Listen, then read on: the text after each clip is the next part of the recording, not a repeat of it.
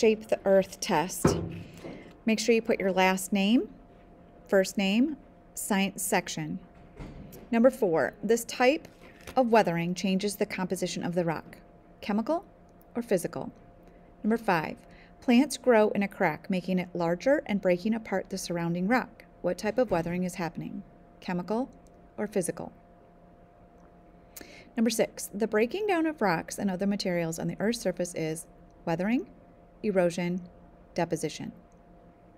Number seven, landslides, mudslides, carving valleys, caves forming, and abrasion are all forms of weathering, erosion, deposition. Number eight, beaches, dune formation, and deltas are all forms of weathering, erosion, deposition. Number nine, what form of weathering is shown in this picture? Is it exfoliation, root pry, or frost action?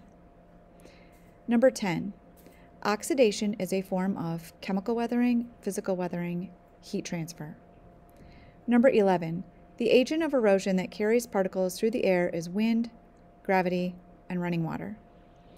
Number 12, major changes in the shapes of the shorelines result from wave erosion and deposition, or animals that dig up the shoreline, or a rise in, or drop in atmospheric humidity.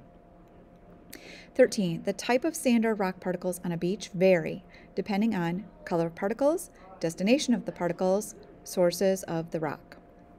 Number 14. Sand dunes are formed by which agent of erosion? Wind, water, gravity, or waves. Number 15. Drumlins are formed when glaciers deposit sediment, glaciers deflate land, glaciers create meltwater streams that deposit sediments. Number 16, the Great Lakes formed as a result of wind erosion, water abrasion, glaciers, or sea waves.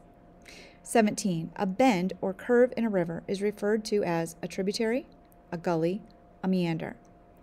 Number 18, a delta formed at the mouth of a river is a form of weathering, deposition, erosion. Number 19, abrasion happens when wind-blown particles wear away exposed rock. True or false?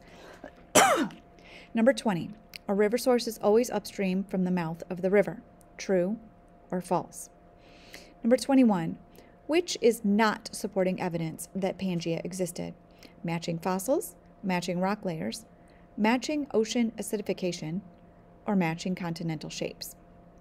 Number 22, rocks can change over time in a series of processes in which geologic changes transform from one rock to another. This model this is modeled using the sedimentary cycle, rock cycle, weathering erosion cycle.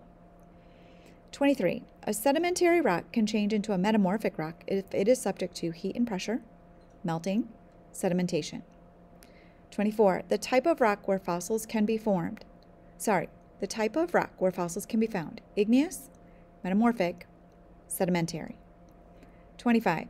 The idea that explains evidence of Pangea breaking apart and movement of large plates on Earth's outer shell is the theory of plate tectonics, the theory of mass movement, or the theory of continental crust development. Remember, you need to click on the regular test link to take the test.